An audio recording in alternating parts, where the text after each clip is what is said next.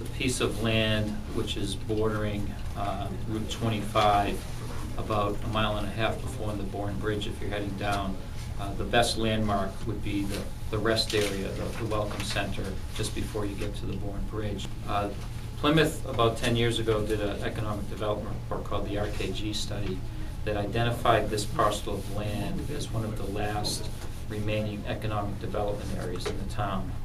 In trying to work with the land and, and and not fight the land, but give, work with what the land gives us and make sure that uh, this is something that people are going to see as, as uh, world-class. The big one is the 14 sound stages. I mean, That's where uh, you would have your, your movie, your television, and, and your, your advertising production done on, on the site. This would be the first opportunity, and why we think it's so exciting is that we would actually be, it's exciting and the challenge, of course, Tammy, is that there is no infrastructure whatsoever right now on the land. Uh, you've got some ponds, you've got some cranberry bogs, and you've got, you know, some, uh, uh, you know, some great, uh, uh, great trees, but there's no infrastructure. So this would be the, uh, a, an opportunity to create a low-impact, sustainable environment that really could be sort of best in class for the world to view.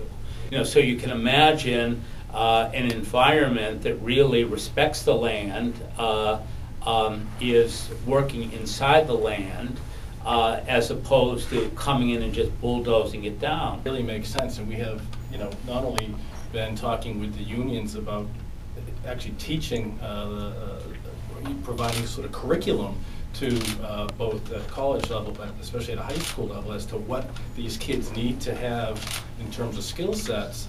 Um, You know, we we will have a campus component to, to, to the studio, uh, so it really has a hands-on approach. You're not just conceptually talking about a movie. You'll have a hands-on experience.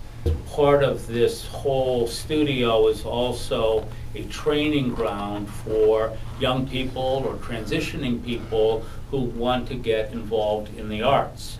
And so they'll be allowed then into it. They won't have to, you know, they'll be allowed into it because they're getting union jobs. To really build a workforce in Massachusetts, you really should have 10,000 IA members. Right now, they're 598.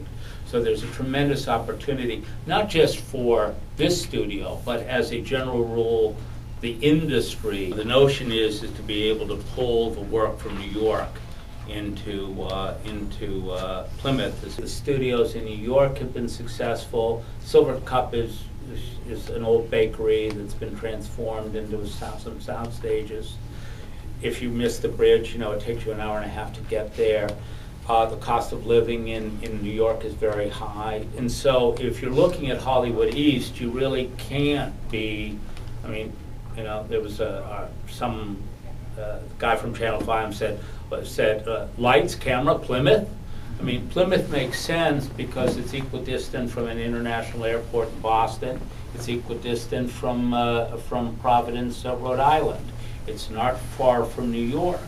Uh, And also, uh, cost of living is, uh, is, is easier to bear on, on crews, et cetera. Our interest is not to create uh, migration into Plymouth, but actually be able to get these high-paying jobs into uh, the hands of the Commonwealth.